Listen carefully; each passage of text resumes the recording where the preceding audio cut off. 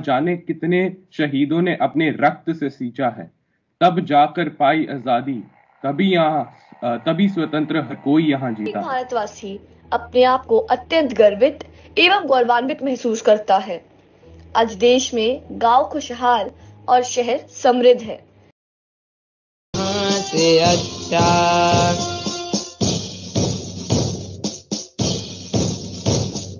मजहब नहीं सिखाता आपस में बैर रखना मजहब नहीं सिखाता So let's announce the winners. Kanak. So you the go. winners are Payal uh, got the first position, Kashvi got second, and Karthik got the third position.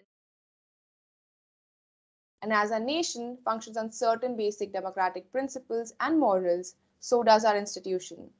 And that's why the topic for today's panel discussion is learning citizenship and democratic values in schools, a stronger and healthy nation.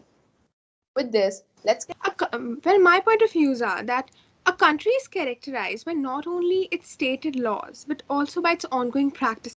them with the experience that they require in making important decisions in life, even inside and outside school. Souls know much about the issue. about democratic practices and citizenship values in school is a seed which leads to the growth of a fruitful tree in the form of responsible and vigilant citizens for a strong and healthy nation. APJ Abdul Kalam. If a country is to be corruption free and fully de- uh, full of democratic values and become a nation of beautiful minds, I strongly feel there are three key social uh, members who can make a difference. They are father, mother, teacher, and of course, a school. By wearing the same uniform, the sense of equality and inclusiveness is developed among the students.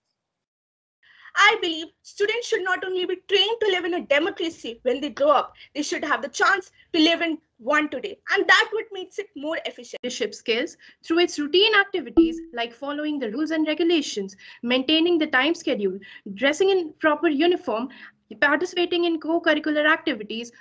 Is to reach a consensus. So there, uh, democracy involves discussion and debates, and this is what happens in a class when a teacher starts teaching. Everyone puts forth their views, and that is our right to uh, freedom of uh, expression. And we, uh, they put forth their views. This is the first time when a child comes across democratic practice uh, So democracy is not just a political system, but an economic system, a social system where everybody is given equality, liberty, and justice, and that is what our preamble says so. few lines I would like to talk about Republic Day. Our land needs more than anything. No doubt we are a free country, but it is also true that we are also surrounded by a host of problems. We are facing many issues today, like the issue of overpopulation, youth unemployment, poverty, underdevelopment of rural areas, and of course the COVID-19 presently. Apart from all of these problems, our country has many good things to offer. We are a nuclear power country. We have a large and brave army. Our borders are protected. Our enemies fear us. We are the world's largest democracy of free and happy people. We are politically powerful, economically strong, and militarily advanced. Dear children, in unity there lies great strength. So we have to be united. We have to make commitments today that we shall never allow any harm to our motherland. We have to make every effort to make our country powerful and honorable in the world. Let's unite, let's work hard, and tell our friends and foes alike we are friends with friends and we are harsh with enemies. Jai Hind, Jai Bharat. Thank you.